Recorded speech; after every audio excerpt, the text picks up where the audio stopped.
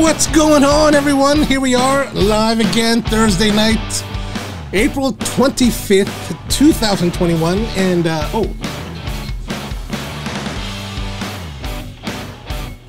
Better, better, better, better, better, better. No more lighting, more lighting. There we go. That's better. So, what's happening? Everything going well? It is the 25th of March. March is flying by already. Actually, 2021 seems to be moving along quickly. We passed the one year mark of the pandemic two weeks ago, and now we're just going faster, faster and faster. So I don't know. I don't know what's going on there. What's going on? So what's been happening? How's your week been? Week's been good. My week has been pretty good. We have been uh, had nice weather so far. It's a little bit of some rain yesterday, but today's pretty good. You know, not too bad. Can't complain. Where's my mouse here? Oh, what's up, Rusty? Good to see you. Thanks for tuning in. Yes, well, you know, I, I recently got this thing called the Rodecaster Pro. And what that is, is a kind of a mixer. It's a it's a mixer designed for podcasting by a company called Rode out of Australia. And basically it's a multi-channel mixer for audio microphone channels and then it also has a return loop from USB for the computer, so it also works as a as an audio interface for the computer. It does have inputs for what they call TRRS, so if you wanted to plug your phone into it, you could, or if you wanted to connect your your phone via Bluetooth, you could do that as well. And then it also has a bunch of effects, you know, so things like that. But it hopefully it sounds pretty good. I've been working with it for the last. I got it what. Um, two weekends ago, and yeah, so far so good. Last week was the first time we had it, and uh, this week we're still using it. I've been recording some things for some of the YouTube videos on it, but it's it's working pretty well. It also has um, onboard effects. Uh, there's on what they call the aural exciter and um, a big bottom, so it does some tuning of vocal tuning for the microphones, and you can assign different uh, parameters for each of the four channels. So actually, you should tell uh, tell your sister she needs to get one of these for their their podcast. I think that would really help, help, help, help. What's going on, Tony? Nice nature music. Yeah, yeah. You know, I'm trying to figure like this is this is the the music that came is what came on board uh, factory, and so I, I still have to learn. There's so much to learn. It's got so much depth to it. Like I ended up buying all this tech the last couple weeks, and so there's just so much to delve into and so little time. So th- there are multiple layers that you can use on this thing, and so it's really quite capable. I just got to figure it all out because there's actually a whole music library to choose from uh, from other sources, not necessarily from Rode. But anyway, so thanks for tuning in. Hope things have been going well. Where, where are you guys at? Drop that in the comments where you're smoking and what are you smoking? What are you drinking too? So as always, coffee and cigars on Thursday night. We're going to start off with this coffee. This is the Corazon de Jesus, the Finca El Salitre, lot number 25, and it's made by a guy named Johnny Alvarado. And this is a really interesting place. It's grown in a place called, um, uh-oh. now I can't remember. Chirripó. Chirripó, which is it's in the mountains in uh, Costa Rica. It's actually pretty far from San Jose. So if you're in San Jose, you have to like drive five hours to get there. And this one is at 22,500 meters, which is the highest um, coffee that we source.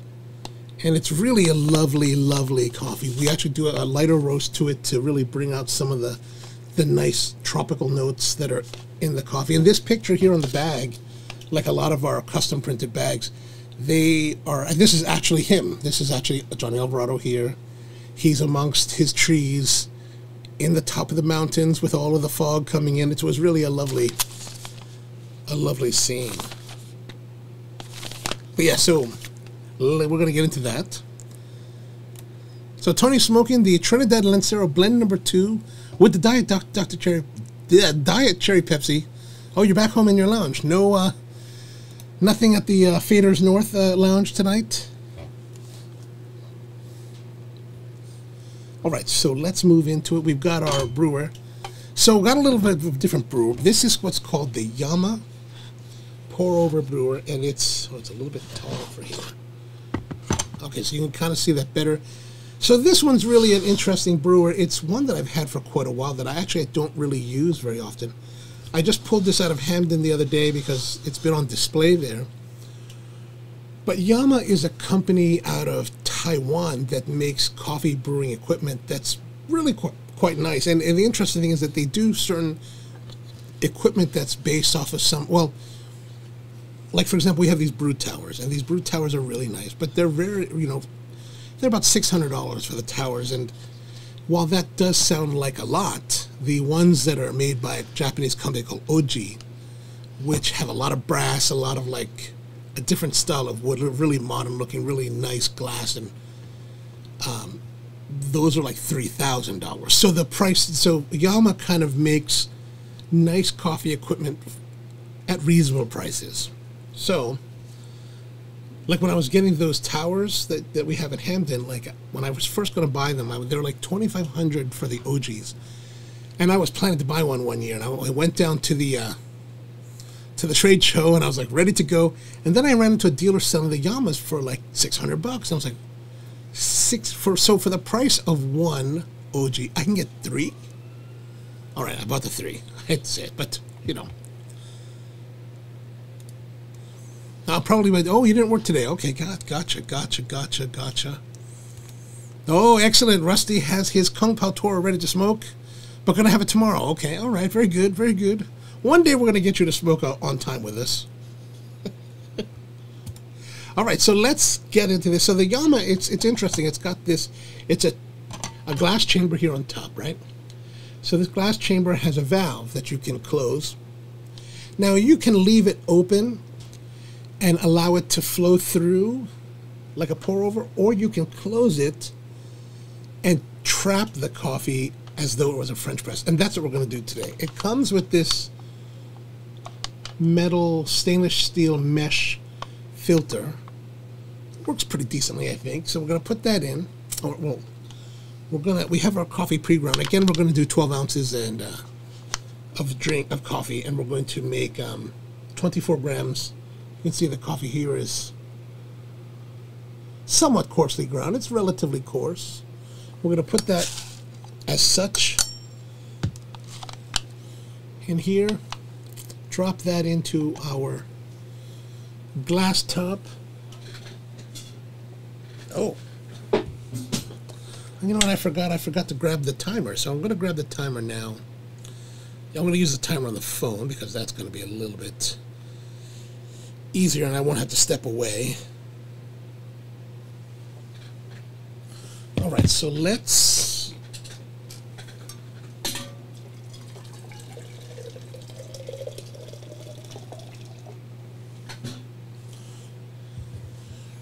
Okay, we're gonna.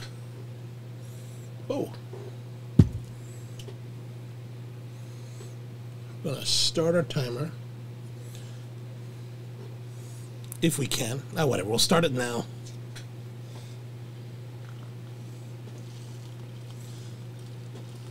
So I added it quickly to bring the water level because as you can see here, it's not quite all the way to the bottom, right? So we just want to saturate the, the grounds for the first um, I don't know, 20 seconds or so.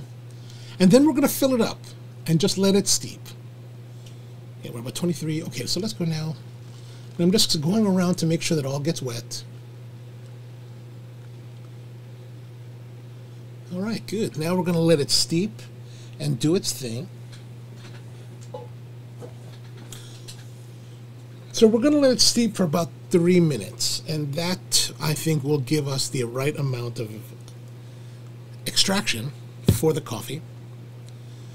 And um, yeah. Yeah, yeah. Yeah, yeah.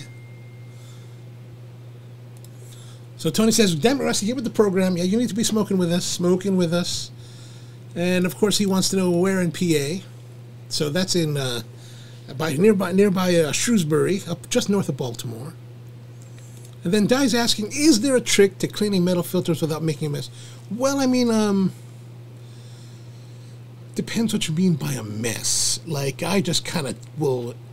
I didn't think about how I'm going to do this today, but usually I'm by a sink, so I just kind of dump it out. But um, yeah, you just lift it out and then kind of grab use something to grab onto the bottom, and hopefully it doesn't run away from you. By the way, Di, you're still in Florida this week, or are you back? And then Inting's phoning in from uh, back in Jersey. Nice. I'm glad you like coffee brewer. Nice, nice. Oh, so let's have a look at the. Uh, you can kind of see the level, right? But I'll, I'll put a light on it so you can see. So it's not quite reaches all the way down, which is that's fine. You know, it it it'll be all right. Do we have anything? Can we see? Oh, that's good. Yeah. So that's it's brewing. We're now two minutes thirteen seconds into it. Ooh, two to three more weeks. excellent, excellent, excellent.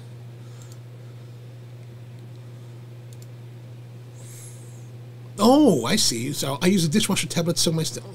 Oh, I see. So if, if, if you're asking about like that, like cleaning this, like after residue has built up, um, gotcha, gotcha. That's the case. What I do is uh, they you could use the dishwasher tablets like Tony's talking about. Um, or you can buy this special thing called Cafiza, C A F I Z A, which is made for coffee equipment. However, I just use, me personally, I use OxiClean. OxiClean unscented. What happened? Well, I mean, why I'm using that? Oh, it's three minutes. So now we're going to do, we're going to open this valve, right? So three minutes have ended, and now we're just going to let the coffee flow through. Huh? Let me lift it up so we can see better.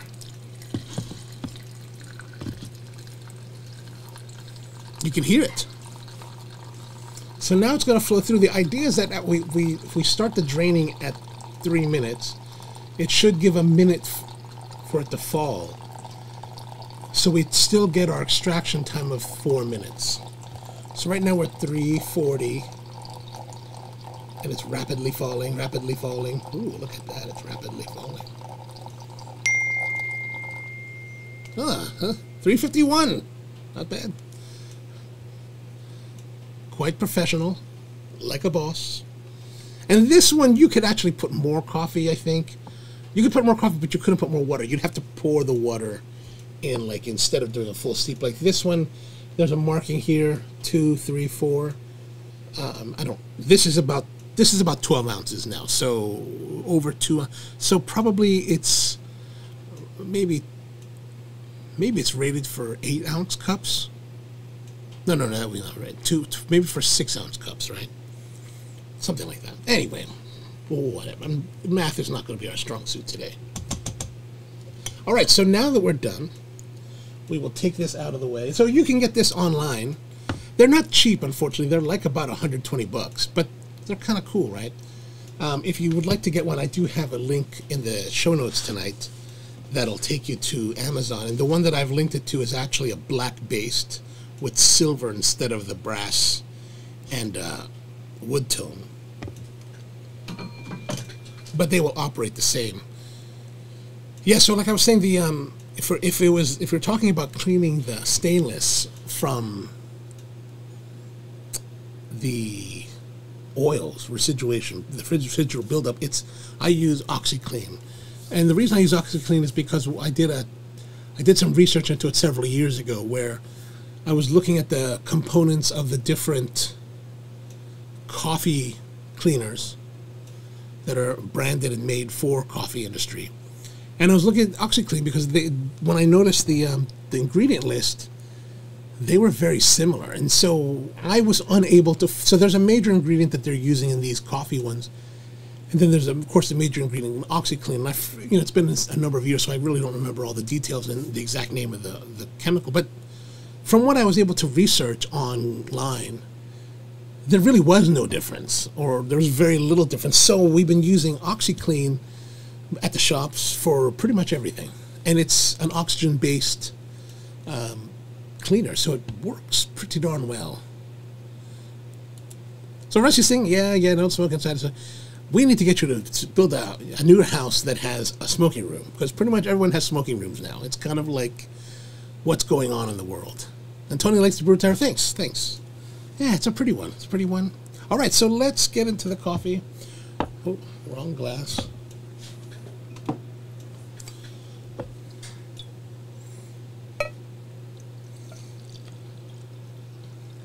It's a. I guess from your I mean, your perspective, it looks looks pretty good. But from my perspective, since the light since the lights are shining through it, it looks relatively light. But it's like I said, this is one of the lighter coffees that we we roast, and because of it, it because it has more of the tropical notes and really kind of high acidity. We I really kind of kept the roasting low, uh, low meaning like uh, light, to accentuate that. And I think this one really is beautiful. This has actually been one of my staff's favorite for a long time now. Oh yeah, yeah, that's nice, crisp, slightly tart, just a little bit of nice citrusy flowing through it, like more like a. Right now, it's more like grapefruit. but not pungent. Like sometimes you get these these like light coffees that are really sour and like punchy. It's not like that. It's much more smooth, a little more mellow. More my speed, more my speed. You know what I'm saying? You guys know what I'm saying. All right. So anyway, we're we're moving along, and um, no, don't forget we're still putting together the the tasting for the Aganorsa. So we're going to do the Aganorsa Rare Leaf Reserve with the two Viso cigarillo thingies with uh, Michael King. That's going to be towards the end of April. I still haven't finalized the dates of Michael. I've been a little bit lagging on that. My apologies. But we will have that soon. And of course, Rahul has the packs. He's taking the orders now, so you can put that together. I'm going to be touching with him tomorrow because I'm going to be down his way since I'm getting my second dose of the vaccine. Maybe Moderna, maybe Pfizer. Who knows? Maybe they'll give me Johnson and Johnson, and I'll get you know extra strength. But anyway, we're back again. Rahul has the cigars for tonight. We're, and as you already know, we're doing the Punch Kung Pow Toro. This one.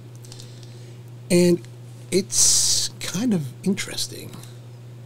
Like, he, it, the interesting thing is I was reading about it, and, you know, since like 2012 when Davidoff first came out with their Year of the Snake cigar, which was actually really good. And actually, uh, the Davidoff ones that I've had, and I haven't had them all, I've had a few of them. The Year of the Snake. I think I had the pig. Well, I don't remember which ones I had, but I think I had the Year of the, the Rooster. But anyway, the ones that I have had were actually quite good. And a lot of these are, of course, especially for like Davidoff and the other companies, they're targeted for Chinese markets.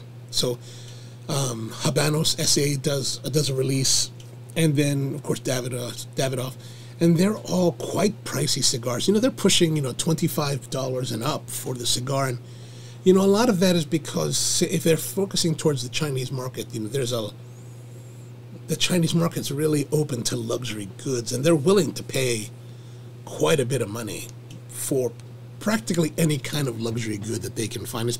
And a lot of that has to do with the culture there, where you may be buying exorbitant, like priced cigars, let's say $25, $30.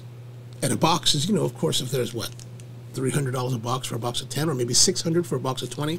I'm not really sure exactly how those are, are, are put together, but, you know, from our perspective, that seems quite a lot. And, and I, I think that's quite a lot. But in the Chinese culture, there's very, there, what, what a lot of that's being used for is for gift giving. So if you're going to give a gift to show respect to an elder, to a mentor, to a boss, or to someone in a higher authority, you're going to give this. And I learned this because I, I was, you know, as, as I'm out buying coffee, and like I was at an auction in, in uh, Colombia a few years back. One of my friends who's a producer, um, Juan Pablo Villota, he owns, he owns a place called uh, Cafe San Alberto in um, Quindío in Armenia. and his farm won, and it was like I was involved in the auction, and I I, I was bidding, but I was bidding when it's really low, like you know below ten dollars a pound. It got I don't know fifty dollars and up, and you know you wonder, and you see these other coffees where they're they're really doing a lot of they're really pushing the price high, like hundred dollars plus. And as an American coffee buyer, I'm always wondering, like, well, what, how do you really do that? Like, how do you really move that coffee? So, if I'm buying a coffee that's, I don't know, thirty dollars a pound, I mean, I've got to sell that for quite a lot, either by the cup or by the pound. It's got to be quite a bit, and typically beyond what most American buyers are willing to spend, American consumers. Now, what these guys were telling me, so we were in Colombia, and I'm talking to these guys. and I'm like, how are they going to move this? And that's when they were like really explaining that it's like in the Chinese culture, you're going to be these won't necessarily be sold, but they'll be given as gifts to people that they ha- they feel of importance and respect. So, uh, you know, that's why you know these companies that are releasing all these cigars. So, like Tony mentioned here, you know, Plasencia released the Year of the Ox as well. Um, so there's Plasencia, and uh, who else is doing it? Of course, we have Davidoff, Drew Estate, company called Great Wall, Habanos, Plasencia, and then Tabacalera SOU that makes Vega Fina. They're all releasing them, and a lot of them are really pricey. And the nice thing about this one is that it's really very reasonably priced. Like it, the, the MSRP is five ninety nine for a, a cigar, and it's a six by fifty two and I think that's a really reasonable price. Now at Rahul's with the Maryland OTP, it's six seventy one for this cigar. But that said, quite reasonable. And part of that I think is, uh, from what I'm reading, is that it's oh, the punch is owned by General Cigar, and one of the problems that General has with a brand, with their brand, with many of their brands, including Punch, is that they only have distribution rights within the United States. Outside of the outside of the United States and the rest of the world, they don't have the copyright or the know, the, the copyright to use these brands. So, you know, those are all Havana brands from Habanos, and so they can't sell these cigars. So, you know, if they were just to you know make a really expensive cigar, you know, you couldn't sell it in China. So, I guess that's part of the reason why they make it and sell it in America and at American friendly prices. You know, so I think six dollars is quite a friendly price, and um, yeah, it's a pretty look. In, at least still in its wrapper, it's a pretty cigar. That I think, and then so oh, die smoking with dad. Tell your dad hello. How's it going? Thanks for tuning in. All right, so let's open this up a little bit. A little ASMR action. All right, so what we have is an open foot. Will it zoom in? Yeah, there we go. So as you can see, the wrapper only goes so far. The wrapper and binder only goes so far, leaving this this half inch of the filler tobacco just kind of there. I'm not sure if they actually trimmed that after they've they've rolled it. I mean, it would seem that that's how they would have to do it. Oh yeah, they must because if you look carefully, right? So I'm gonna hold this up and hopefully it'll zoom in hold this, the, the focus. There we go. Now, as I rotate it around, you'll see that it's not perfectly straight. It's not cut perfectly straight. There's a, look at that little divot right there. So I'm guessing they must use the chaveta and just gently trim the wrapper binder off of it. And so, following along with like Chinese tradition, they're using a band that has gold and red, which are the the really symbols of good luck. And I, th- was it? They're packaged in eight. Yeah, so they're packaged in boxes of eight, and they come in these like metal tin, foil tin containers that are like Chinese takeout containers. Although I've never really been to a Chinese rest takeout place that had this style of container. I don't I don't know where they got that. If they put it in those boxes, you know, the ones that unfold, that would be more. And the ones that I get locally, they're like in those black and clear plastic, translucent. But anyway, the um, these compacting eight because of the eight is the lucky eight. You know, uh, in Chinese culture, eight is a big. Um, how do you say? Eight has a lot of cultural relevance. It is the lucky number and um, you know, it's got a, it's what is the eight symbolize? Eight symbolizes strong intuition and insight. Someone that's going to explore the undiscovered. Also, very much of a business-minded kind of person. You know, so it, it, there's a lot of positive and important things to that that eight is is is part of, and general is trying to you know attach a lot of things to that. So that's that's kind of nice. You know, that's kind of nice. Actually, there was a part of me that thinks you know there's a part of me that was wondering about like. Um, you know, there's a part of me that thinks that that was thinking, oh, this is cultural appropriation. But I was thinking recently about what uh, that guy Lim is it Lim? There's a Chinese basketball player who I guess is pretty tall. I, I, don't really know basketball very well, so I, will have to forgive me on this. But evidently, I was reading about this guy. He's a Chinese basketball player. He's got dreads. And one of the the black African American players came up to him and said something, or maybe tweeted about it. It's like you know about the the dreads and how it's uh how it's you know taking or, or taking cultural appropriation or something like that. And you know, in most situations, you'd find people that were going to like battle it out, right? Especially in social media.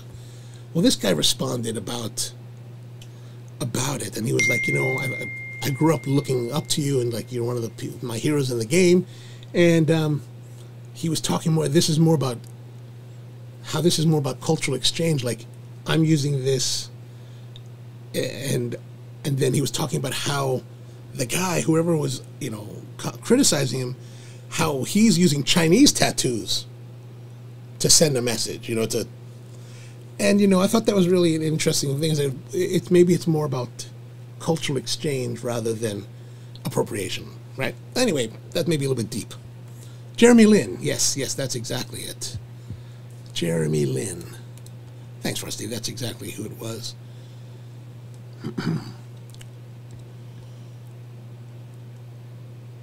and then Rusty's also saying that I have to get the same vaccine as the first. Well, why? This is America. I should have my freedoms and my right to choose whichever vaccine I want. That's what I'm going to tell him tomorrow.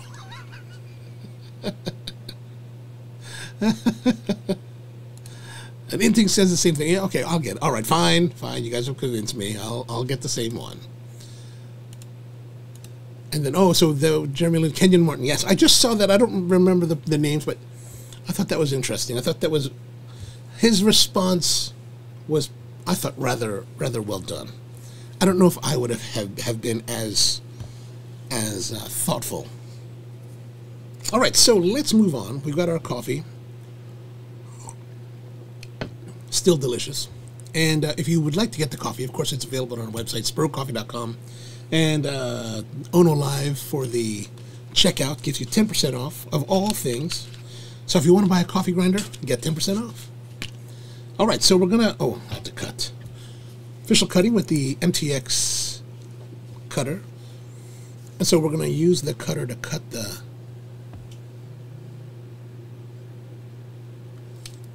Oh, oh, it's a little bit tight, a little bit tight. Feels like a little bit, maybe it was a little bit on the drier side, but I keep it in the bags with the, uh, with the, uh, what do you call it? With the Boveda. It's a little bit but it's, it's tight. It's got a nice, what's got a nice tight? Oh, I didn't smell. Maybe there's a light barnyard, some leather. A bit light and a bit nondescript. There's some sweetness to it. Now, here's the, speaking of sweetness. So, so Ed Lahmann, the uh, the senior brand manager for Punch, was saying that this is a medium to full bodied blend that has a vague sweetness with an undercurrent of spice which is supposed to be like the Kung Pao chicken. Now, they also spelled it Kung Pow, P O W, like Pow, rather than Pao, as in, uh, I don't know what Pao means actually. Uh, I'm terrible to say that, but uh, I don't know why they did that. Maybe, uh, who knows? Who knows? Oh, and also the this this comes from a series of uh, year of the um, the Chinese New Year releases that they've done for the last two years. And they would they first one was an egg roll in 2019 the next one was a chop suey in 2020 and those were both um, the egg roll was more like a robusto at four and a half by 50 and then the chop suey is like a a long like a Lancero at 7 by 37 and now this is a 6 by 56 Toro. It's 6 by 52 Toro. All right, so let's light. Now we're wondering, like, because is there some trickiness because of the exposed filler? Well, we'll find out.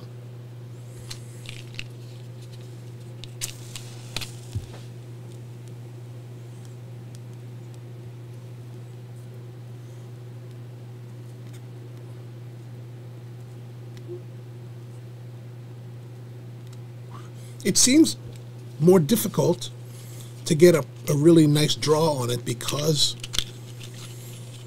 of the, uh, maybe because of the exposed um,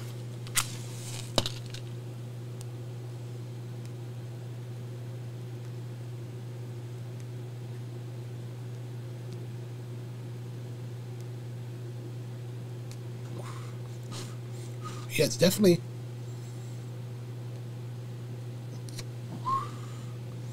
definitely more difficult. So I'm going to go to the.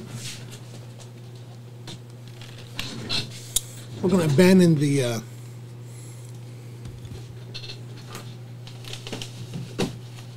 oh, everything's falling around here.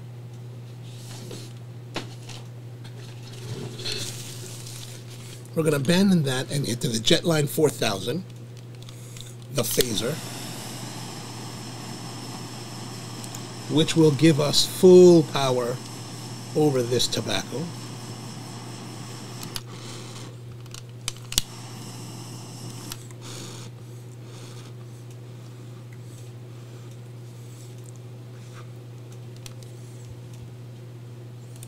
Hmm, Tony saying maybe this is homage to the movie Kung Pow.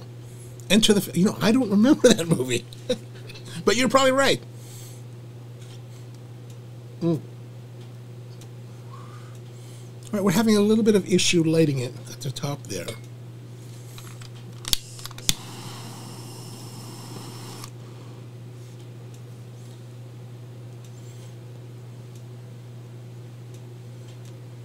I think we're lit. Well, relatively. I mean, it's burning. let's see. You can see the uh, the foot.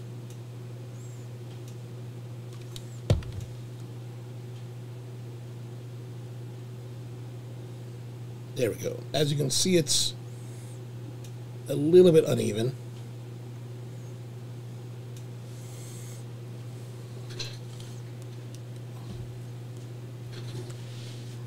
But we'll see how it goes. We'll see how it goes. Ah, parody. I, well, I figured. I figured that. I just haven't. I don't recall that. I'll have to look it up later. All right. So it's starting out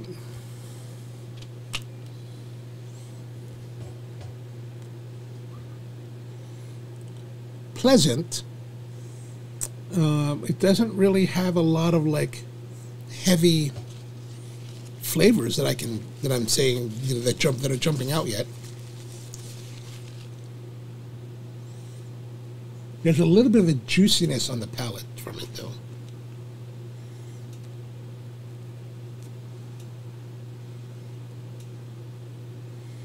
I'm wondering how it will change once we actually get into burning the wrapper. So we're still not into the wrapper yet. Right, just starting right there. Yeah, just starting at that one point. Right now, there's a lot of brightness, bright juiciness, kind of like I hate to say it, but kind of like a Jolly Rancher apple.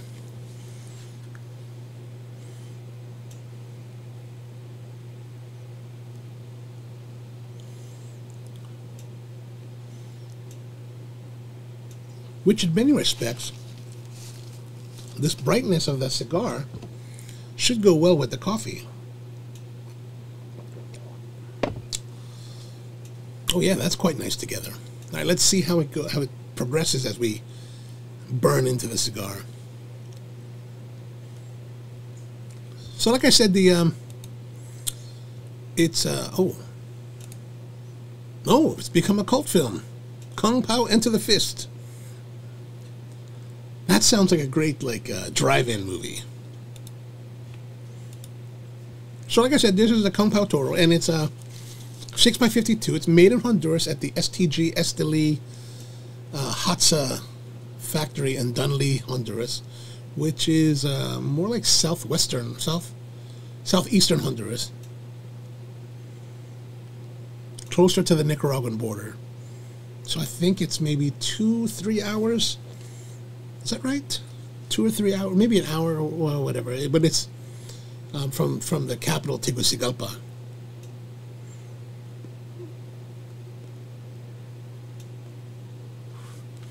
And so they made 4,500 boxes, which is up from 3,600 last year. So I guess they're doing pretty well with this line, eh, which is about 90,000 cigars. It was just released on the 15th of February. And the interesting thing is that I was, as I was preparing for the show this week, I was looking for reviews, and since it's been released so recently, there's not really many written reviews out there. And as I was finally preparing to go live uh, a couple hours ago, I noticed that halfwheel finally dropped theirs, which is good. It gives me someone to beat up on, um, someone to compare notes with. But part of me is hoping that we get it out before they got theirs. I don't know why that's a thing. It's not really a thing, but it's a thing. Anyway, so country of origin is in Honduras, and it's using a Connecticut broadleaf wrapper from the United States. The filler, I mean, the binder is a Honduran Habano binder. And then inside that, they've actually gone for five. Is that right? Five? No, four. I think four tobaccos from Honduras, Brazil, Dominican Republic, and Mexico.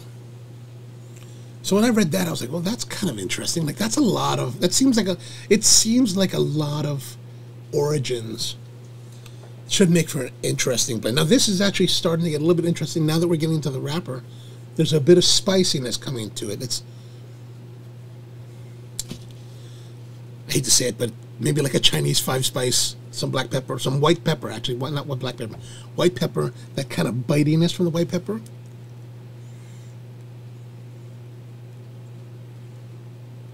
Mm, Chinese five spice. I don't know. Maybe it is. Maybe, Maybe I'm just saying that because it's Kung Pow and I'm being like, you know, hypnotized.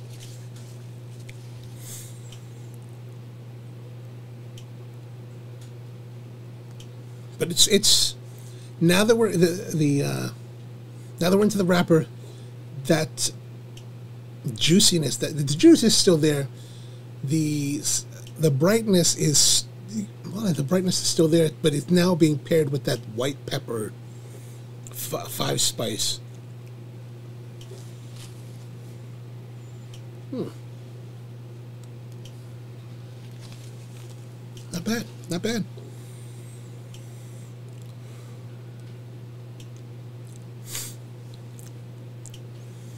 You know, and so this is nice because I mean, you're you're talking about it right now. It's starting off nicely. Construction feels good. Like it's it's like last week's cigar was you know, had that really nice oiliness to it. This one doesn't have that oil. It's, it's a drier feel on the on the fingers, but it's all very nicely done. Like it feels nicely constructed. It feels solid. You know when you like here at the end, you know there's a good of it's packed well, but it's not inhibiting the draw. So it's the kind of packing where you feel like you could you could really bite down on it and like do your thing.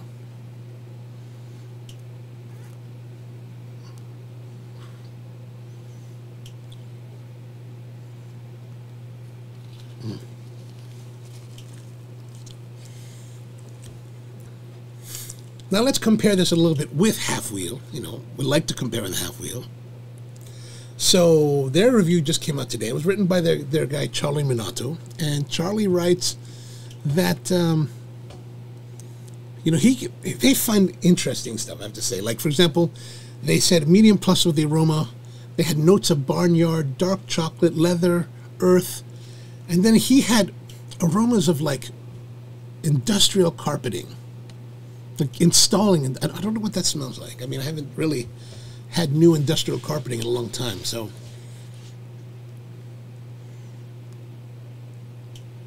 and then the foot had notes of uh, sweet milk chocolate, red pepper, white pepper, and still that carpet. I don't know about this carpet thing. Seems like a strange thing, but oh, whatever. Then the cold draw he had was uh, milk chocolate, blueberry, earth, generic tobacco. I don't really, I didn't really get that. You know, maybe some of that barnyard, like really light barnyard for me.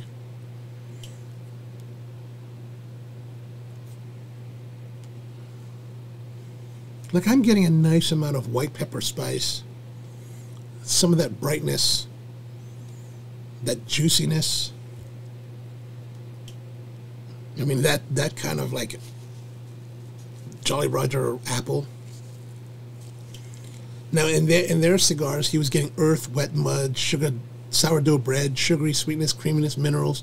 Maybe the minerally, I can see that. That would be kind of similar to the the juiciness that I'm getting. Earthiness, coffee. Um, you get some black pepper, but I'm getting different notes. I don't know if that's just probably with it, will you interpret the palate.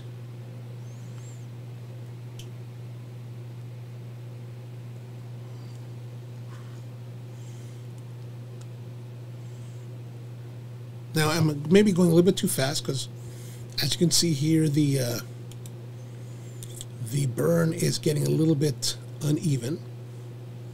This is one of my problems personally, is that I tend to smoke, especially with a cigar that I'm enjoying. I tend to smoke it. I start to smoke it pretty fast. I really need to stop doing that. I kind of want to tap it out a little bit to drop that, but I'm gonna I'm gonna try to let it rest for a few moments to maybe even out on the burn. Yeah. So what about you guys? What are you smoking? I know that I know Tony and is smoking you know some nice stuff there at home. Inti, what about you? How about you? What do you got going on there? Any beverages going on?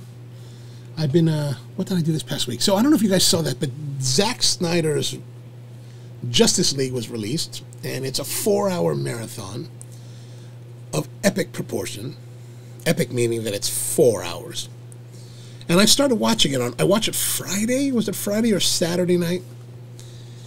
And I tell you what, the first hour 25 minutes, the first 90 minutes, I was just kind of infuriated, just like mad. Because, and I, you know, I know that they had a release of uh, Justice League in 2017. I read this later.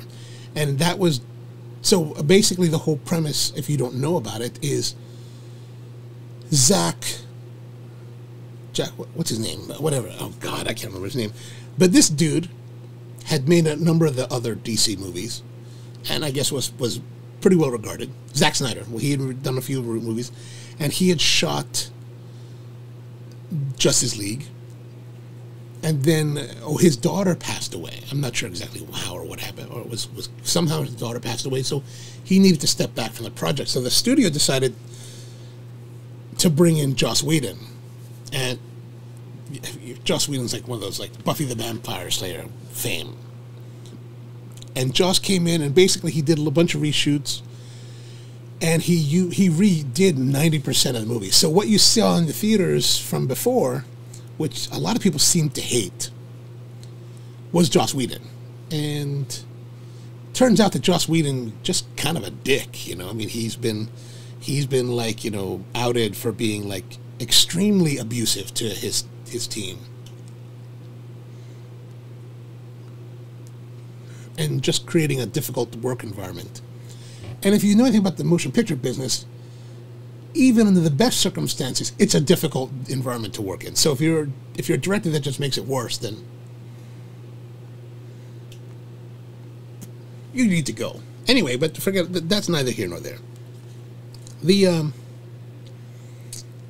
so he made this. Evidently, he had sort of. I don't know if he had cut the movie or not back in 2016 or 2015, whenever it was but they ended up going with Joss Whedon. They released it, and it was a bomb. Everyone hated it.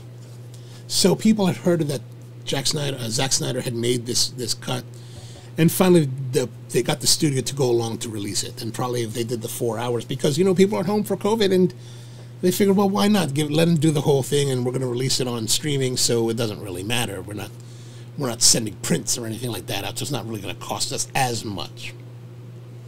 So they they released it, and you know, eh, the first hour and a half. Okay, so, so a typical movie, you know, traditional movie running time is an hour and 20 minutes, right?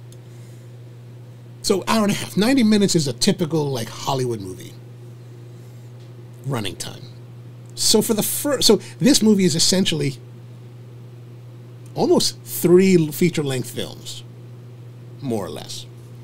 So for the first feature length film, the first hour 25, they're giving a lot of backstory and a lot of the characters. Like, you know, so you get to see more about Wonder Woman, about Batman, about Flash, and you get to see more about Aquaman, where they're from, and these boxes that are like going to unleash unleash the apocalypse, right?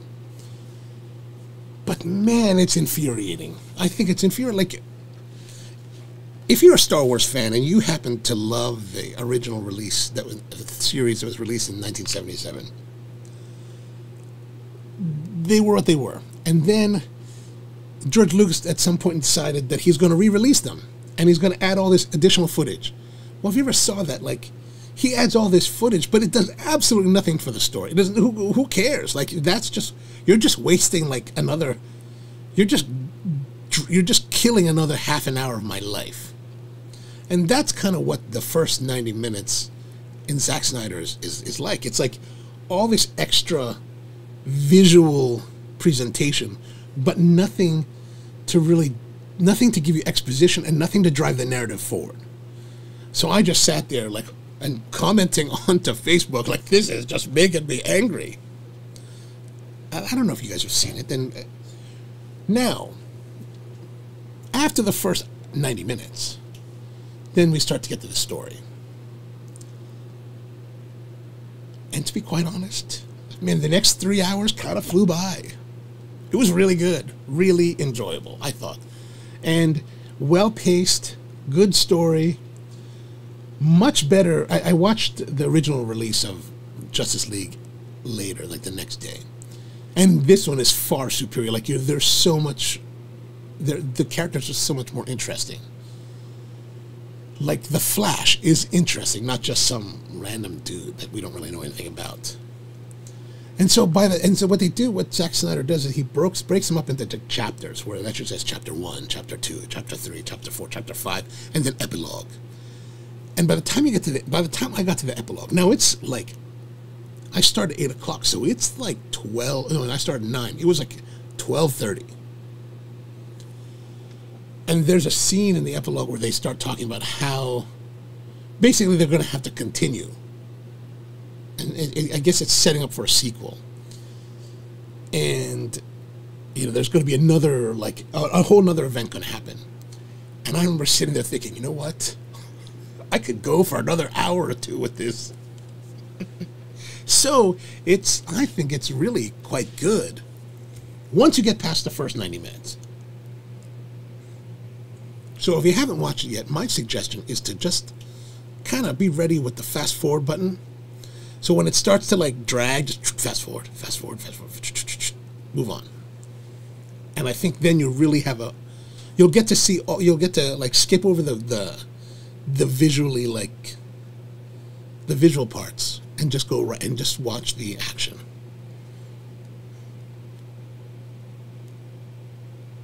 I don't know if you guys are seeing it. Let me know what you think. I'd, I'd be interested to know. Oh, I dropped my my ash. Darn it! Making a mess. This is the problem. This is the problem. This is the problem with cigars. You drop them, the ash, onto yourself, onto your clothes, onto your desk, onto furniture, burns holes in everything. Terrible. So we're really rolling still. Maybe I'm going too fast. Am I going too fast? What's our time like? How much time are we running here? Oh, I guess we're all right.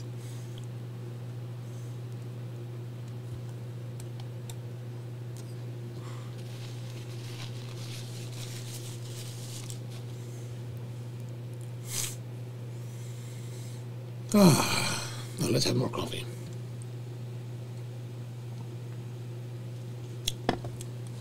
Yeah, that's quite nice. We're going to refill the coffee from our little Yama thing.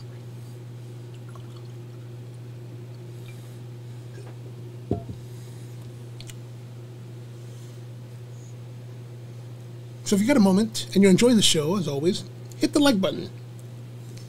Why do you hit the like? Why do YouTubers say hit the like button? Because it helps tell YouTube that people are enjoying the video, and then it'll recommend it to more people. And the more it recommends the video, then I can do more of them. Right? Uh, you know. So it's going along well. The, the cigar, it's not terribly, it's not terribly exciting. Like there's not like fanfare and, and like, it's not punching. It's just nice. It's just it's got good flavor. It's consistent flavor, great construction.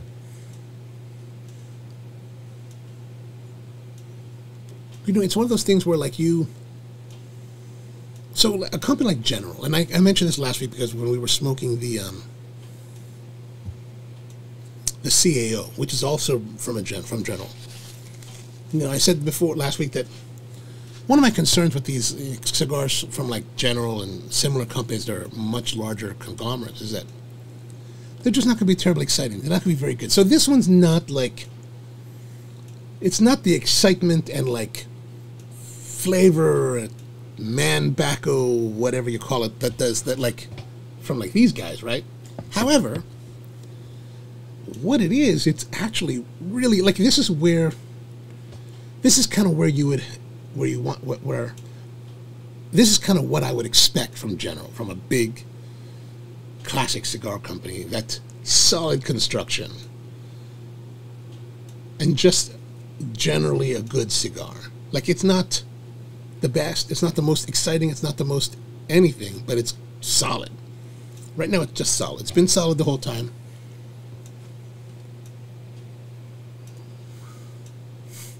and I, am I'm, I'm enjoying it. I'm enjoying it, especially at the price point, six dollars. Man, that's a good deal. And Rusty's saying, I went to look for my, I went to look at the humidor because I didn't know that the foot of cigar was not wrapped. Mine is almost as dark. Oh yeah, yeah, yeah, yeah. Oh, the the filler is almost as uh, as dark as wrapper. Well, that's nice. That's that's cool. Although it makes you wonder, is, is that a could that be a quality, a quality thing? Or I, I would wonder, like, as so so if you're not familiar, the um, cigar rollers work in kind of teams. There's the bonchero or bonchera.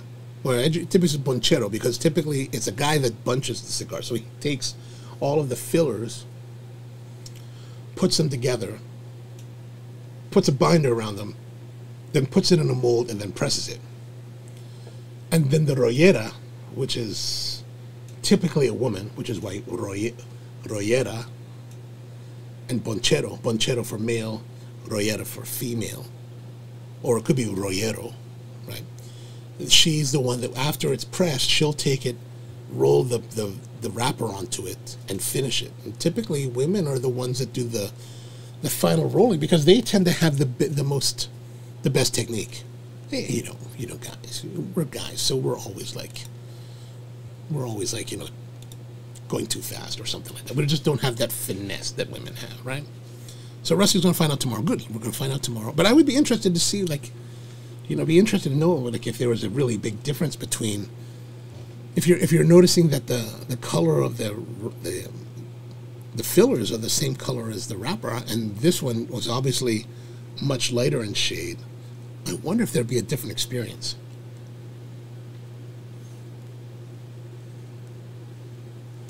But I mean, this the draw is solid the uh, amount of smoke that's being generated is really nice.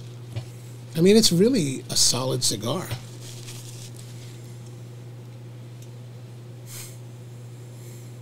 Like it's good. Like you're not. It's not taking you on a crazy journey or like a wild journey or like some kind of exploration. It's just solidly rolling.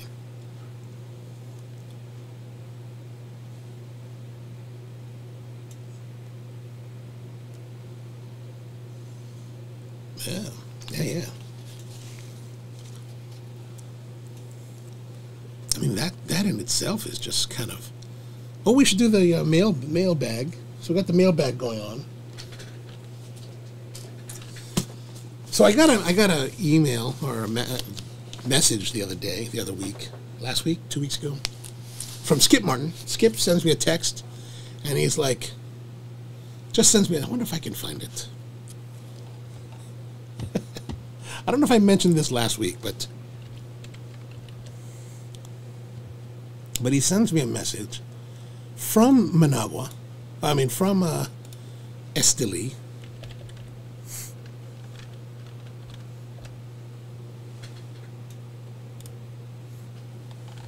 yeah, yeah, yeah. We'll do that. We'll definitely. Now, how do we share again? Oh, no.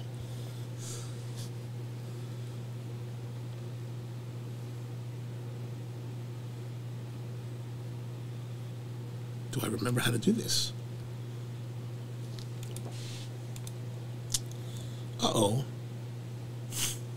I know I did this last week. This is the problem. I haven't really done anything over the last week. Now I can't remember. Oh, there it is. I guess you can see that, right? Yeah, you must be able to see this. This live. So this, so he sends me this. No comment, just this picture. Stacks of revenge. it's like, God, really, thanks, man. It's like, thank you, I appreciate that. Anyway, so because of that in mind, I called up uh, some people and they they sent this box to me from Two Guys Cigars.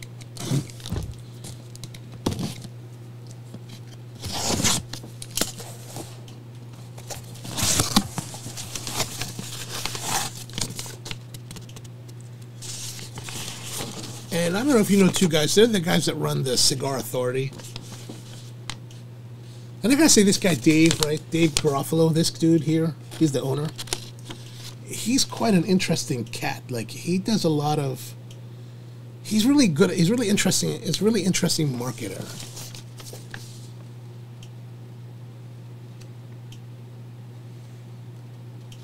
All right, all right. So we've got. Oh, oh. Anyway, that's why. New Revenge. All right, good. So I've got something to do tomorrow. And that was in this week's mailbag. Also, I ended up finding this deal. I don't know if you're really into this, but if you're into photography, this here is the Rokinon Rokinon 85 millimeter cinema lens with a t-stop range of 1.5. I got this used at Service Photo here in Baltimore. They've got, you know, that's the interesting thing. Like, if you're looking for gear, this is why I like local shops. Like this place, they do used gear, and so you can find really nice deals for really cheap. Well, at least cheap compared to the the going price. But if you can see here, like you can see, it's got a it's it's a pretty nice sized glass, and it's got good latitude. Yeah. Um, the imagery is really nice. So, that's kind of what's been happening in my world. Have you guys got anything interesting going on this week? Evidently, March Madness is in full swing, and now we're in the Sweet 16. My understanding is that a lot of people had some upsets last week because Oral Roberts University won one of the games. I guess they weren't supposed to. I guess Oral Roberts is a good basketball team. I don't know. What else happened in the world? Five dead were five were killed today in a tornado in Alabama. Alabama tornadoes. You just wouldn't think that. Hmm. Speaking of Alabama and the South, so I was talking to my cousin, and his son, who's kind of my nephew, right, went off to school to attend Mississippi State.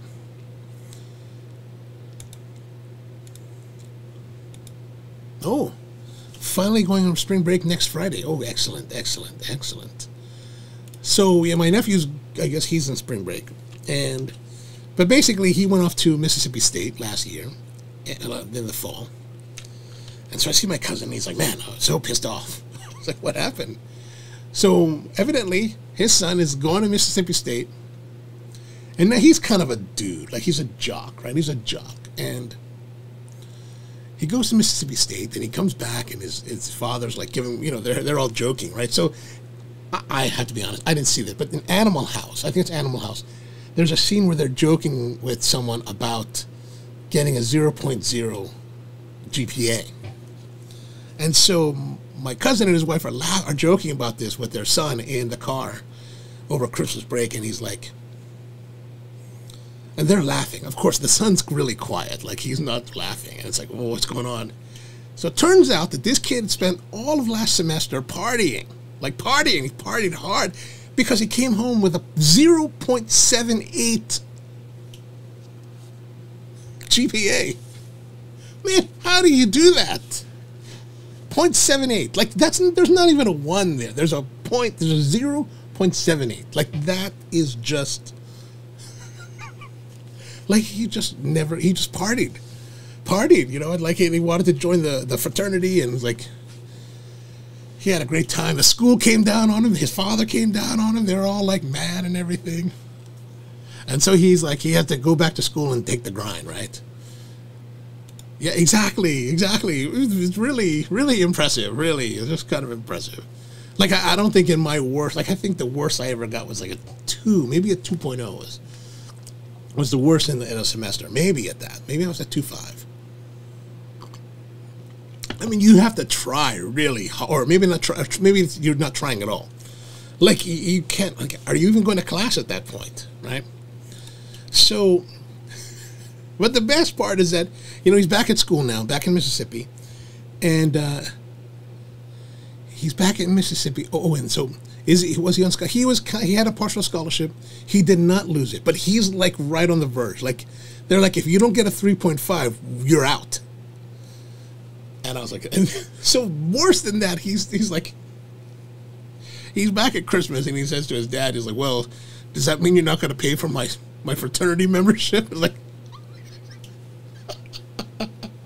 that's some balls, man. That's some balls. Actually, it's probably something I would have done if, if I had happened to me. I'd probably say to my dad, "Dad, would you pay? You gonna? Can I still have money for the fraternity?" So his father said no to the fraternity money, which I would have said too. But of course, you know, kids, they go to their mom. The mom says yes, so the mom took care of. So he's still part of the fraternity. But the the best part is that he's back at school now. He's working hard. He is working hard from what I hear. Calls his dad. He's like, Dad, I need my social security number. I got a job. So you know, when you guys go to college, when we, when we were all in college, you're in college, and you get a job in college. What kind of job do you get? Like, what's a college job, right? Working at McDonald's. Working at someplace, the photo store, like Tony did, right? You know, you, you work in a regular job. So he's like, so my cousin, he's like, well, so what kind of job do you get? And he's thinking,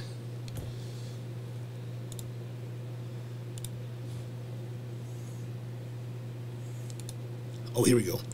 Growing up in an Asian household, if I brought home that, yeah, no doubt, man, no doubt, I would have got beat, beat. I would have, you know, I was at school in Hawaii. I would have come, I would not have come home. I would just be like, I, I, I can't come home here's my here's my report card. But the nice thing is that nowadays, like they they can. So my cousin says every every Sunday they go online and they check his grade. So evidently at school now they update the grading every week. So as a parent, you can watch your kids' grades every week. So they're really on him, which is great. But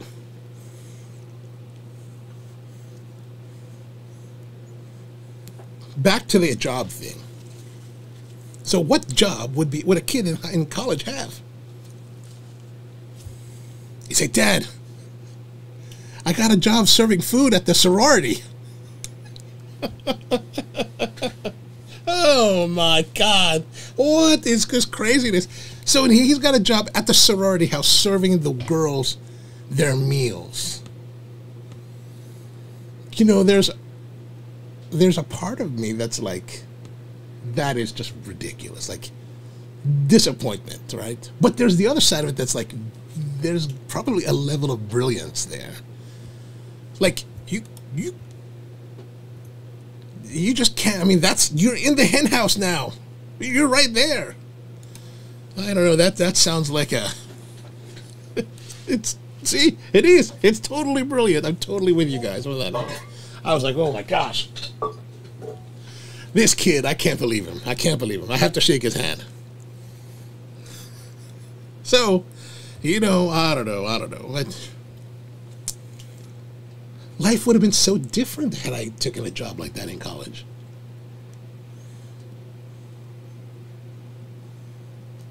Serving girls at the sorority house. oh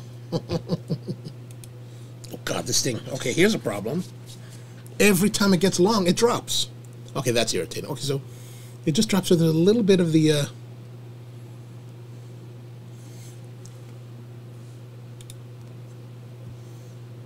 did I have a job in college? Did I have a job in college?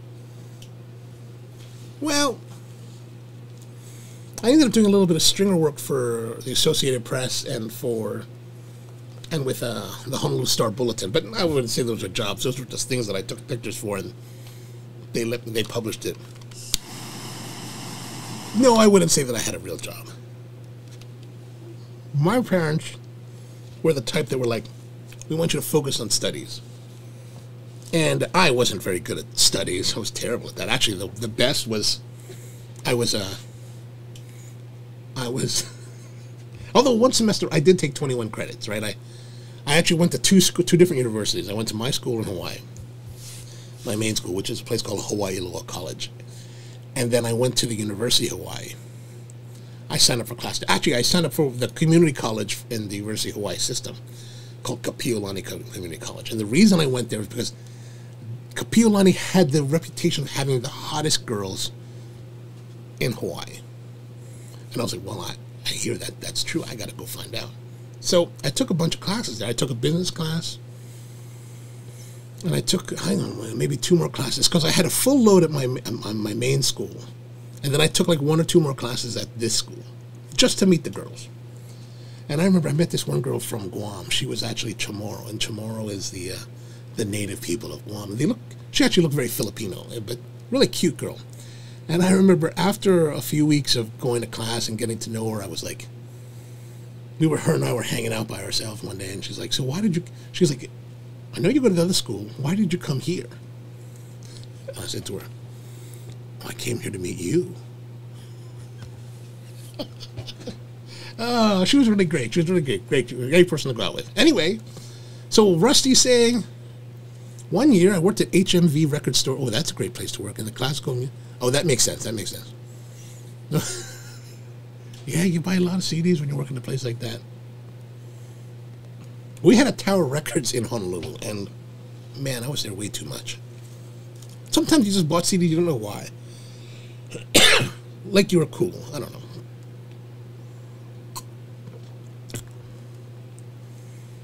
So the second, you know, like I said, there's we're we're in, we're into the second third, right? And the punch is doing well. So comparatively to like Charlie Minato and halfwheel saying the nuttiness is building, black pepper, roasted corn, earthiness, mineral, mud. There's something called the, they call the vibrant terroir sensation. I don't know what that is. White pepper, black pepper. So for me, I don't get a lot of that. I still get that spiciness with the white pepper. There's still that nice like brightness, juiciness to it.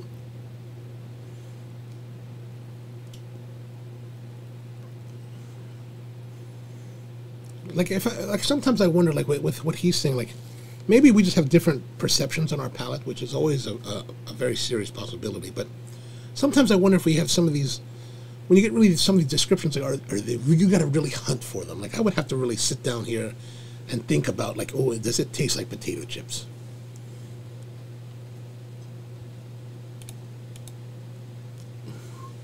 And Tony did the same thing at Kemp Mill Records. I used to go to a place here in Baltimore. We had a place here called Record Theater over on Liberty Road, and that was pretty. It was a pretty crazy place to go to. Gosh, but Mill was good. All right, so we're getting to the point where I'm going to take off this band. And the interesting thing about these bands is that they're like a fortune on the back. The only bad taco is the one you didn't eat. Yeah, I guess that's a good fortune.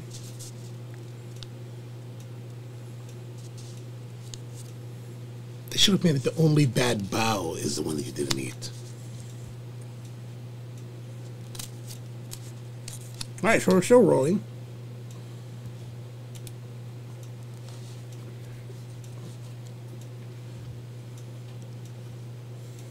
So coming along, not bad. Still looking good.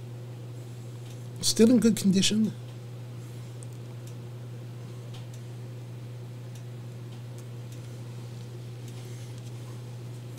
Also, if you're a fan of um, Archer and Arrested Development, the actress Julia Jessica Walter passed away at home in New York City this past week. Um, she was 80, 80 years old. I was like, oh man. Also, Biden had his first formal news conference today. I guess he hasn't had a real formal news conference since he started. And evidently, what NPR said this morning on the drive in to work was that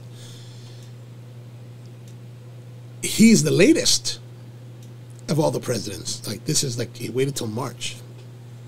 I don't know what he said. I didn't really listen that closely, but I just know that he's had his first one. Hmm. So what else happening in the world? There is. I don't know if you noticed this, but there is a, a eruption going on in uh, Iceland. This guy. This guy is naked on the mountain with the lava. So there's the lava. It's flowing. I don't know if it could like. Oh, look at this guy! What in the world is going on here?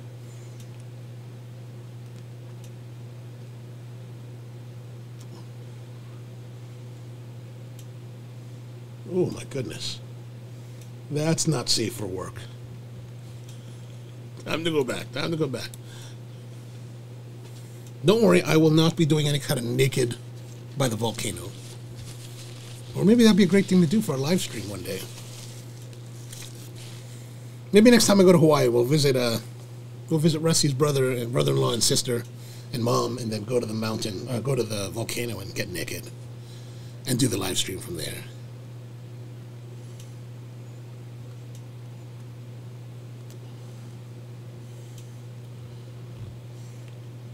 Hmm. Also in the news, Vincent van Gogh had a painting that had been in private collection for the last hundred some years, and it finally went to auction at Sotheby's. Sotheby's at um, not Sotheby's at uh, yeah, at Sotheby's. So you know, here's the uh, where is it? So the the painting itself is called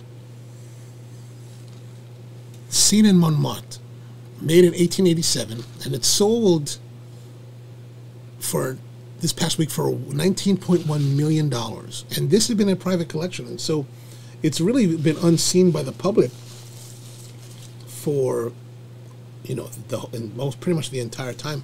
And it's about the Moulin de Galette, Moulin de Galette, which is in uh, Montmartre. And Montmartre, it was um, it was actually torn down in 1911, from what I was reading, and so it's kind of a glimpse in the past. And like you know, if you look at this, it's it's very like pastoral, right? And I don't know if you guys have been to Paris anytime recently. Well, in our lifetime, but Montmartre is nothing like that today. I mean, it's it's a fully bustling urban neighborhood that is just you know city, and so to see it with this with this kind of like picturesque kind of view is like wow like you just can't imagine it's the same city anymore right? You know it's but if you ever go to paris i mean it's really a cool neighborhood. There's a great um, baguette shop there called um, it'll come to me. It doesn't come to me right now. I want to say pongeron but pongeron has been closed for a long time but it's right on the uh, right on the main street of Montmartre, and uh, really fantastic baguettes. Then you can also go to the Sacre Coeur, which is that basilica that's on the hill. It looks overlooks the city. It's like the most commanding view of the city in all of Paris. So it's it's worth going up there. And if you do happen to go to the Sacre Coeur, you can actually take a funiculaire to ride to the top instead of walking the whole way because it's really a, a brutal climb up many stairs.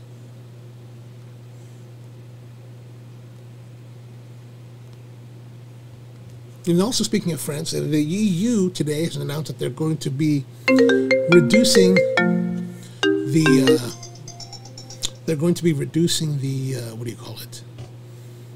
They're, they're reducing the shipments of, of the COVID vaccine to the United Kingdom because the UK. So AstraZeneca is like their major supplier for the vaccine, and so AstraZeneca has been manufacturing in both the UK, in the UK and in um, the EU.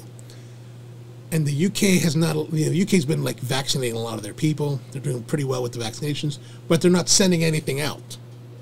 So the EU now is getting mad because they've been, the EU companies have been sending to the UK, but the UK companies have been sending to the EU. So now they're mad and they're like, we're going to slow down your uh, your shipments. So that's kind of the big thing that's happening.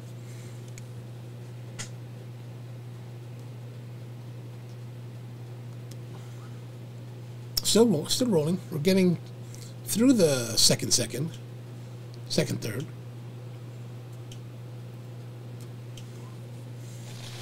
And then, um, what else happening? Oh, the uh, the Suez Canal. Like I don't know if you know about the Suez Canal, but the Suez Canal connects like the Mediterranean to the Arabian Gulf, right? That area of the world. And so there's a a ship, one of the the, the, the ships was blown aground, ashore. You know, it, it was grounded because of a, a sandstorm that happened. Now, this is a pretty major problem for worldwide shipping because 12% of the, the world's cargo passes through the Suez Canal. And so since since that happened, now there's major there's major bottlenecking happening. And like I don't know if they can get the the ship to be pulled off the reef anytime soon. But um,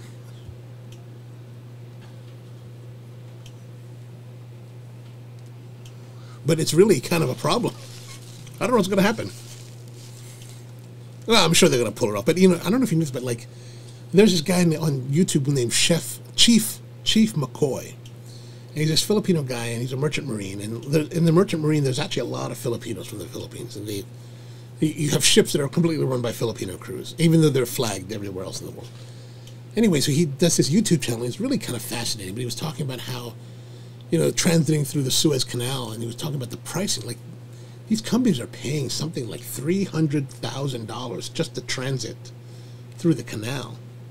But evidently, you know, it cost it would for them to go around the Cape, around around Africa. It would cost them like another half a million dollars and so it really is an important way of, of shortening the transit of, of ocean containers.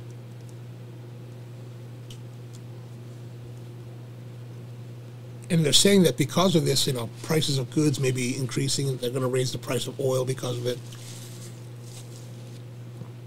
I mean, the oil's not here, but they're just going to raise the price anyway, which never makes any sense to me. One of South Korea is also reporting that North Korea today fired more ground-based ballistic missiles, flying them high. I, I don't know why. I guess they're getting bored because of COVID. And so in, in today's news also, down in Atlanta, some guy goes into a Publix, you know, Publix, which is a grocery store chain there, goes into a Publix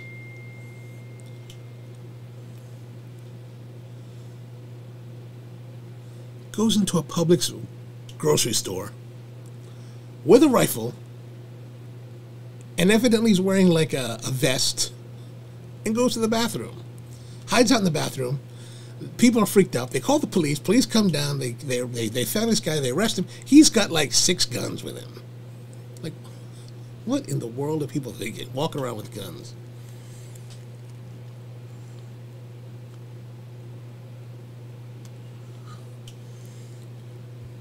Also, Prince Henry has finally got a job.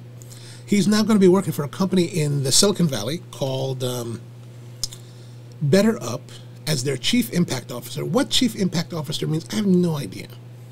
But evidently, the, the company is about coaching and mental health services for their clients. I don't know who their clients are or anything about it, but that was big news. He's finally got a job. He's finally doing something. He's got to support his wife and you know, that's kind of got to suck. You've got this whole, you're a part of the royal family of the United Kingdom, and you've got all this incredible wealth and like opportunity and everything.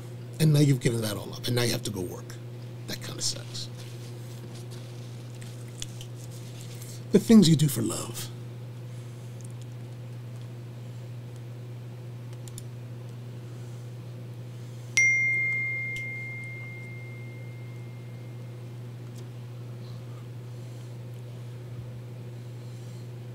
And now, what else is happening in the world? Oh, this past week was Paris Fashion Week. Let's have a look at that. That's kind of interesting, I think. So here it is, Paris Fashion Week escapism hint. So we've got some some clothes here to check out from the Paris Fashion Week. What do we have here? We've got Loewe, the fall winter collection. Hmm, interesting. Oh, the Loewe show's been canceled. Well, what's going on there? Oh, I guess. Well, that's too bad. Oh, not bad. I like that. Oh, that's Balmain. That's that's definitely out there. Kind of like a Gaultier kind of look, right? Oh, look at that. Balmain. Kind of reminds me of a uh, Comme des Garçons, like Rei Kawakubo's kind of stuff. Oh, that's kind of classic. Chanel. Well, Chanel's always very classic. Chloe. Oh, that's kind of cool. Who is this from? Is that Chloe? Oh, that's also Chloe. I like that. I kind of like that that patchwork of. Looks like leather. Oh, there we go. Courrèges. That's kind of that's kind of classic looking. Oh, Courrèges also with a red, like a jumpsuit, like spaghetti strap jumpsuit. I don't know if I like that. That it looks a bit too maybe clockwork orangey. This is Miu Miu, winter collection. Yeah, that's good. So you get that for the ugly sweater. There's your two thousand dollar ugly sweater. More Miu Miu. Looks like she's cold with that dress. Givenchy got he looks pretty warm. puff leather. Uh, we're back to puff leather again. Givenchy again. This is this is this is this is definitely club gear right there. That's club gear. Oh, that Dior, Christian Dior. Not that's actually kind of nice. That crepe, you know, kind of that creping of the fabric there at the bottom. Mm, that's just pretty. That's just something I could never afford.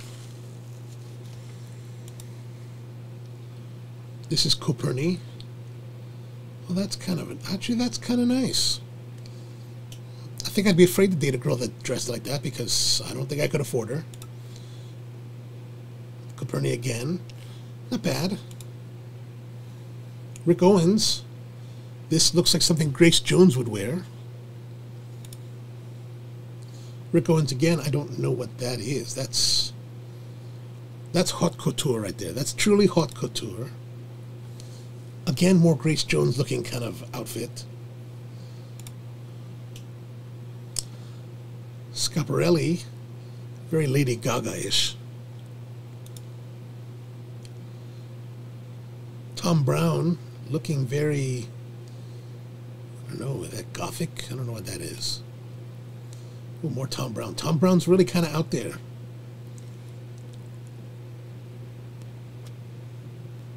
I dig the bag, though.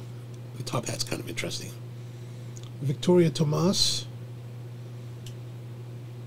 This very reminds me of kind of like the unconstructed look of the 80s, you know, the kind of stuff that, um, that, uh, what's his name from the Talking Heads would wear. Louis Vuitton. I like the jacket. I kind of dig the jacket. The sweater's kind of cool. Although those boots, I don't know, those are those are those boots or are they uh, like chaps? Not chaps, but um, spats. They're like a spats kind of thing.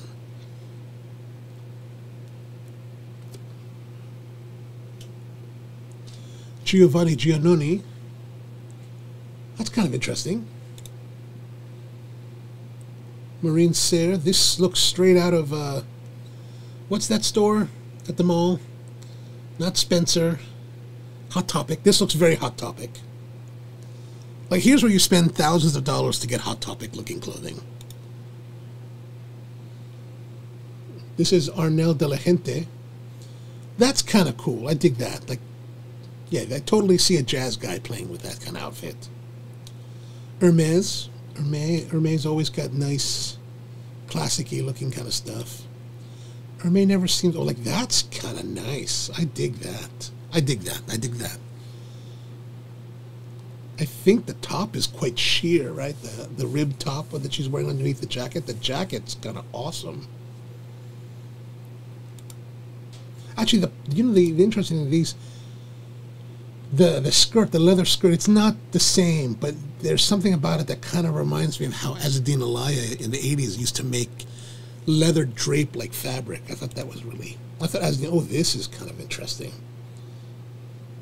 Kenneth Ize, that's kind of cool. I dig that.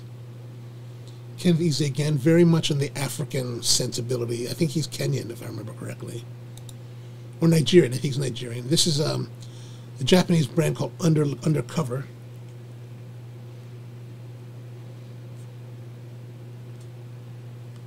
So basically, it says printed larger than life replicas of oil painting by Swedish artist Markus Åkesson. Now, this is the kind of thing that I would that would that I would have seen like in an art school back in the '80s, where people would take jackets and paint them. So I mean, I don't know if I'd be happy paying thousands of dollars for that. Cecilie Bahnsen, that's kind of in, I kind of dig that. Kind of got that little house on the prairie sort of look to it. Okay, we're back to Loewe. Okay, we're going to get rid of that now. All right, that's good. That's good. The latest in fashion. So you get it all here coffee, cigars, fashion.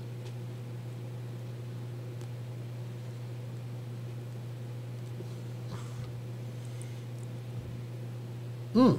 Another thing that I thought was really interesting there's a photographer back in the 1840s. His name is um, Henry Fox Talbot.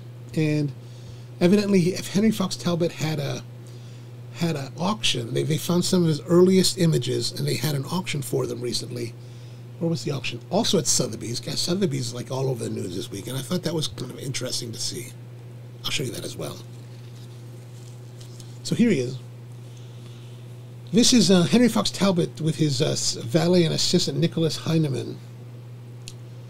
Oh, that's his. That's the, his assistant on the left. The under the guy in the middle is unidentified, but you know, they, they, were saying that these were interesting glimpses into life in the 1840s. Westminster Abbey. So back then, you know, I mean, photography was really, really new. Like, so it's, it's really impressive to see these old images still around. This is writer and poet Thomas Moore in the center with a top hat. I guess that's his family. This is the passenger ship SS Great Britain in the city of Bristol. This is Lacock Abbey, his uh, family home in Wiltshire. I mean, can you imagine growing up in a place like this?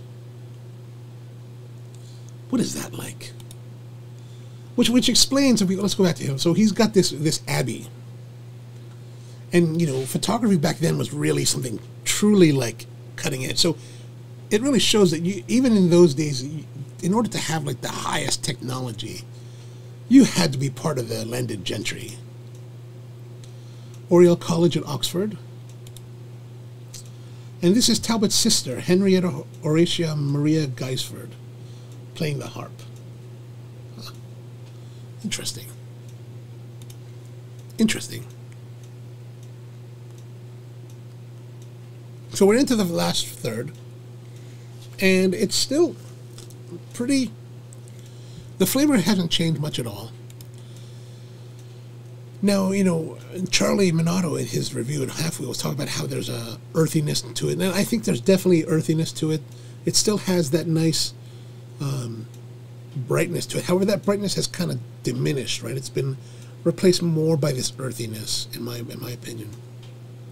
White pepper still very present.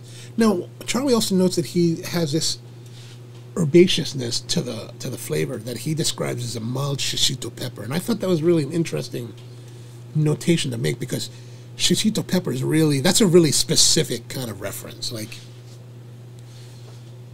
I don't know if you've ever had shishito peppers. They they are quite they can they can have a nice bite, spicy bite to them, but they're overall pretty mild, really kind of tasty, flavorful pepper to eat. Like one of the bar foods. My, my cousin served this at his bar in Manila. Is shishito peppers that are lightly battered then deep fried, and you eat that like as a bar snack. That's really quite enjoyable, actually.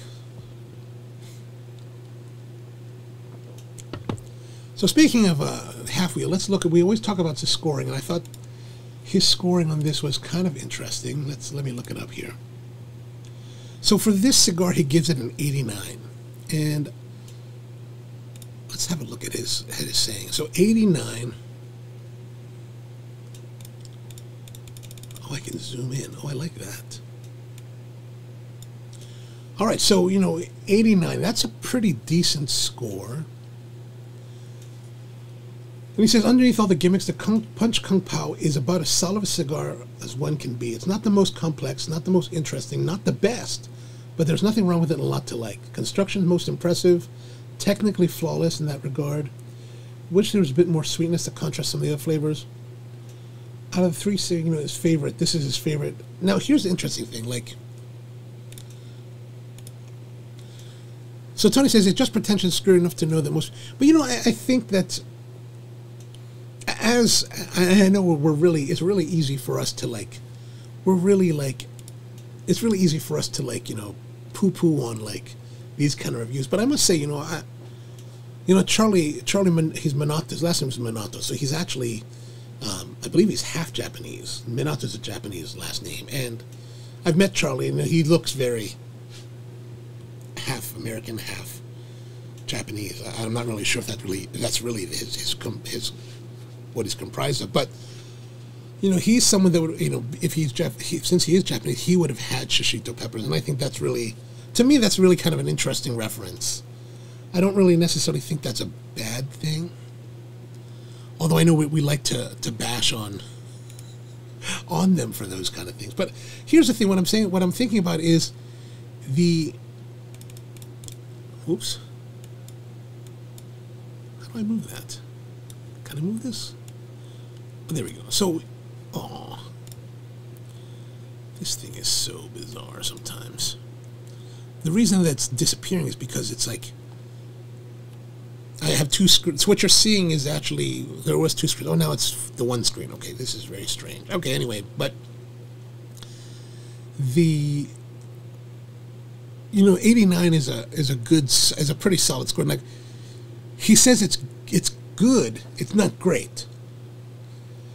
I think this is probably to me to me personally. I think this 89 is actually one of the more honest scores that I've seen in a, in a, in a while. Like it's it's a good score, it's a solid score, but it's not like this is awesome, this is fantastic, right? Like when you get to the 90s, that's like really something that's like awesome. Should be something.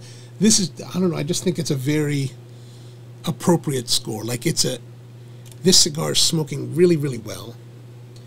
It's not great.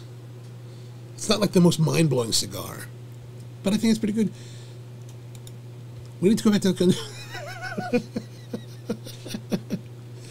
yeah, yeah, but you know, I don't know. I don't know if it, you know is. I mean, that's one. I mean, that's one aspect of it. I think we need to look at a at the overall, and you know, maybe maybe you could say that that it should be lower, like an 87 or something like that, and, and I could and I can go along with that. But I, I think that if he was to say that it was 90, it would be overblown. I think if it was to say 85, it would be too penalizing. So I think that I think that this 89 is actually a, a good place to be.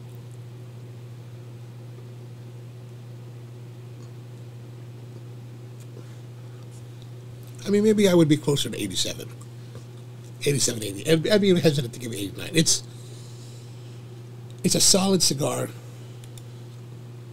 Enjoyable nice flavor, interesting flavors. That that whole part for me, the the the juiciness and the white peppery, and then maybe a little bit of the uh, the five spice early on.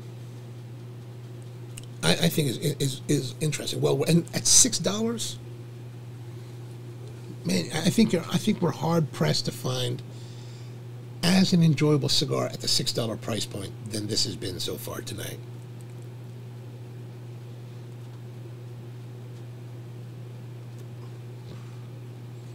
I think your mileage may vary, of course, but that's my thought. But the problem with this thing is that I have only once tonight been able to actually ash into the ashtray. It's always falling off, and this wasn't very long. Look at this thing. Oh, it doesn't hold. Up. Ah, now I made a mess. Good lord. So that's the one. Okay, I'd say that's the one downside of this cigar is that it it will readily once you've gotten a little bit of length on the ash, it's readily falling off. Like it's it just wants to fall. So it's going unless you're unless you're tapping quite regularly, it's going to make a mess on you. So that's that's a downside.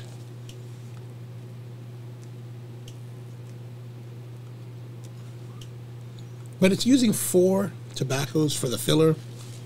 So a total of six tobaccos with the binder and wrapper. And I'm actually cu- this is where like as a as a cigar enthusiast, where I would where I think it's really where I think it would be much more enjoyable if they would tell us more about it. Like you've got all these tobaccos in the world. You're a general cigar. You've got ostensibly the greatest power of selection of tobacco in the industry. Because you're not Cubatabaco, you're not Habanos, you're not limited to just really staying within Cuban tobaccos, but now you've got the world to choose tobacco from, and you're choosing four for your filler. I'd be interested to know which tobaccos did you use and why. Like, I think that would be really, really interesting as an enthusiast to learn.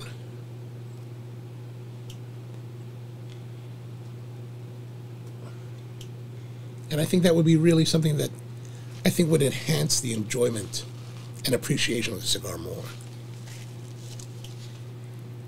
Like, why did you use those tobaccos? Like, what were the properties of those tobaccos that made you use so many, so many different origins?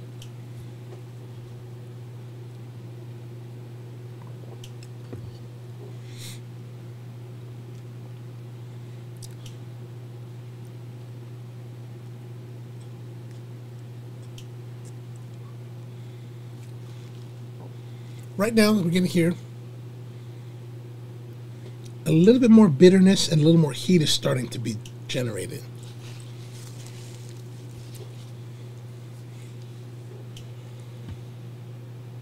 And so Rusty, as Rusty always asks, would I buy it again? I think yes. I think it's six dollars.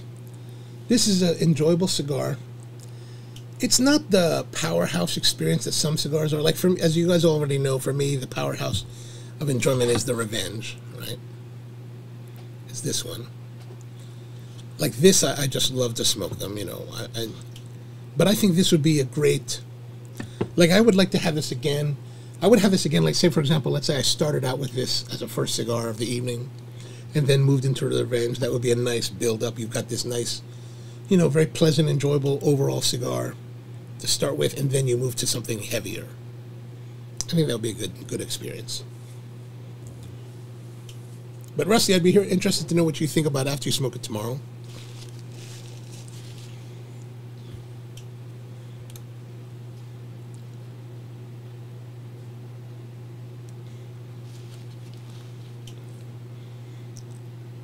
Mm.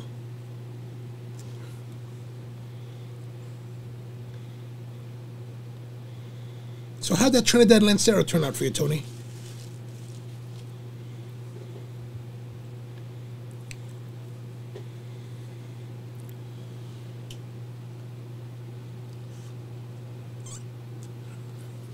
And also, what do you guys think about cigars for the future? What should I be seeking out? I will be hitting Rahul's tomorrow after my vaccine, so I have the chance to look for other cigars for the for the upcoming smokes.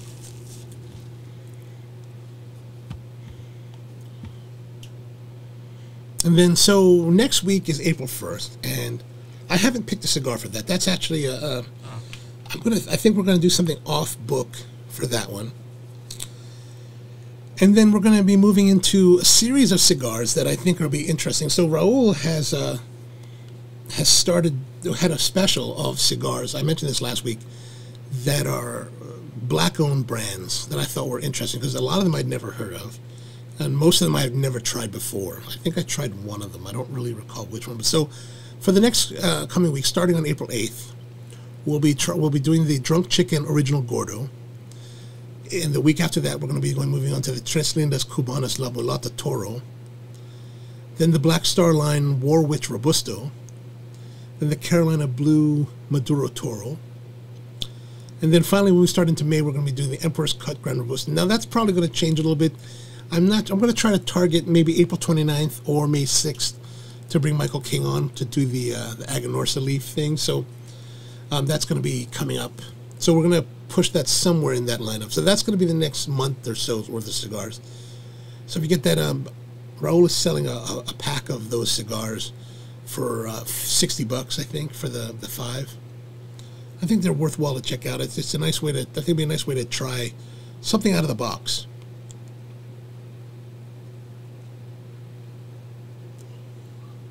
Now, at Tobacco Leaf, they're actually selling those cigars as a pack, and people are voting on them as to which one they like because the one that is the ooh, the guest favorite, they're actually going to start bringing in their their uh, as part of their lineup at Tobacco Leaf. So that should be quite interesting.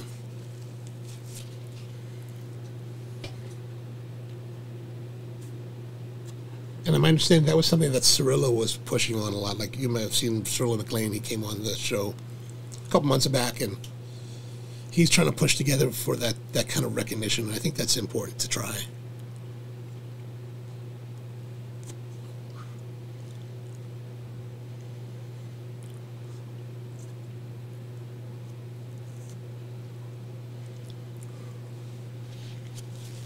And now it's really starting to get hot sharp, bitter. I think that signals towards the end of the of our cigar tonight. It's a little bit of a shame. I would I wish it was like that kind of thing that you really just want to smoke all the way down till your fingers are burning. But I think it's really reaching the point where it's like not as as pleasant. so I guess we'll cut it off there. Thank you very much again for coming in every week. Really appreciate you spending the time with me. We're back again next week, April 1st on Thursday, 8 p.m. We'll be smoking something out of the ordinary.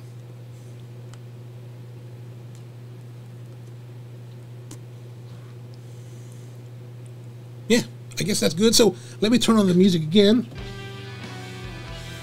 Oh, yeah, yeah, yeah. Ah, thanks, Rusty, for coming in. Appreciate you. Tony Inting, Die. Thanks for tuning in, everyone out there. Have a great have a great week. Enjoy the smokes, and uh, you know, I guess we'll uh, see you next week. Oh, wait, Tony says